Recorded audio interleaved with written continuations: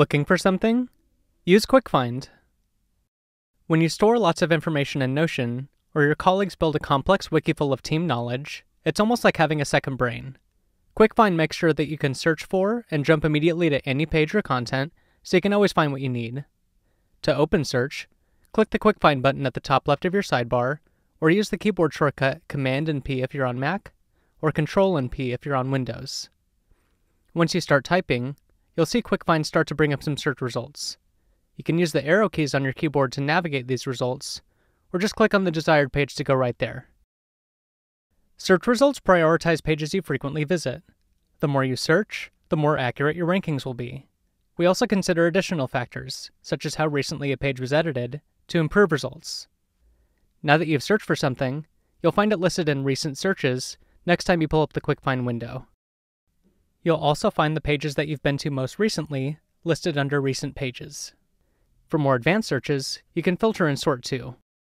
Let's say you and your team share a massive database to keep track of all your projects, but you're looking for something that you created on a certain date. Pull up the QuickFind window and enter your search term. Click on Add Filters to bring up a sidebar of search options.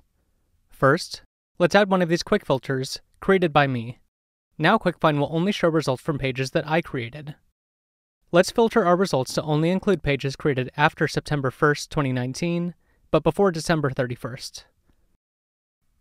If you're searching for the title of a page, rather than something in the contents of a page, you can turn on Only Match Titles to make the search results even more accurate. You can also sort this list of search results to meet your needs. Sorting by best matches will prioritize the most relevant pages and content, giving priority to page titles and recently edited pages. You can also sort by created date or last edited date.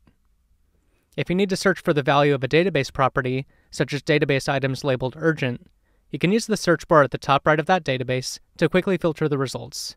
QuickFind works for everything else. With your second brain hosted in Notion, you're free to store anything and everything you want and always have it at your fingertips.